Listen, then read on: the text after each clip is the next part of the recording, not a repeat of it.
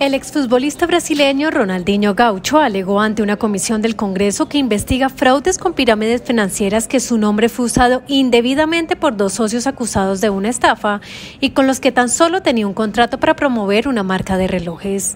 El exdelantero negó todas las acusaciones en su contra en más de dos horas de interrogatorio ante los legisladores.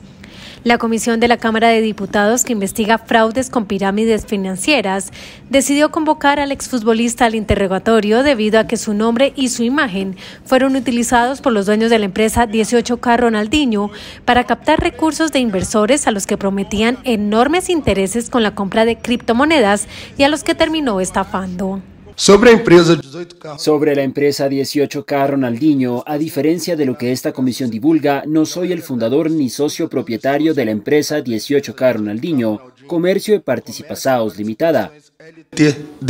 Ronaldinho también afirmó que nunca autorizó a dicha empresa a usar su nombre o su imagen para promover negocios financieros ni para ofrecer criptomonedas y que solo se enteró de que los socios venían usando ambos indebidamente cuando la fiscalía abrió una investigación sobre la estafa.